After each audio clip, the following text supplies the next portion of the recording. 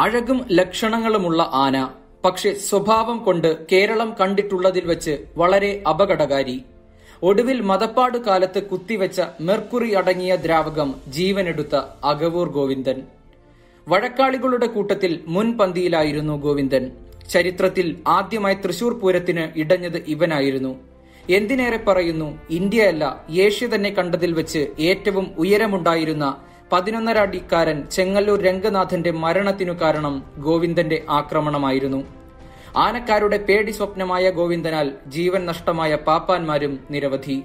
ഏറ്റവും കൂടുതൽ ആനകളെ ആക്രമിച്ച ആനയും ഗോവിന്ദനായിരുന്നു എന്നാണ് പറയപ്പെടുന്നത്.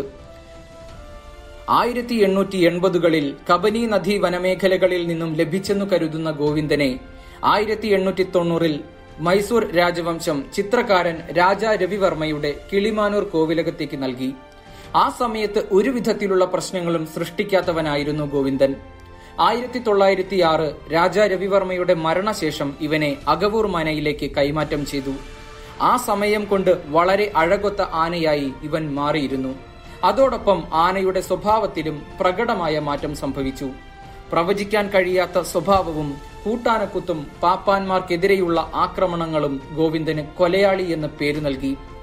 വൈക്കം വേമൻ എന്ന ആന ഭക്ഷണമെടുക്കുന്നതിനിടയിൽ ഗോവിന്ദനെ തൊട്ടതിനാൽ അവനെയും കൊലപ്പെടുത്തി. ആളുകൾക്ക് പിന്നീട് ഇവനെ കാണുന്നതേ ഭയമായിരുന്നു. ആയിരത്തി തൊള്ളായിരത്തി മുപ്പതിനു ശേഷമായിരുന്നു പാലിയം തറവാട്ടിലേക്ക് ഇവൻ എത്തുന്നത് അതിനുശേഷം തൃപ്പൂണിത്തുറയിൽ വെച്ച് മതപ്പാട് നീണ്ടുപോകാൻ നൽകിയ മെർക്കുറി അടങ്ങിയ മരുന്നായിരുന്നു ഗോവിന്ദന്റെ അവസാനത്തിന് കാരണമായത്.